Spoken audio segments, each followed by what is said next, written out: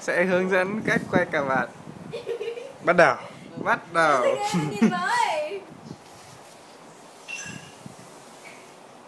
Tên anh là gì? Tên anh là VNT thấy không? Có ạ. Đây gọi là nút mẹ thì anh không quên mất tên rồi nhưng mà cứ cứ thắt rồi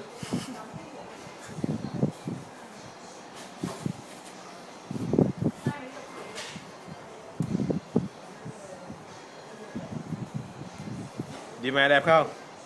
Đẹp. Hơi ngắn nhưng mà không sao. Chụp anh như ta ngứng gần đấy anh ạ.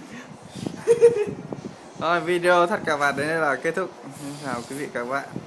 Chào đi chào đi. Bye bye.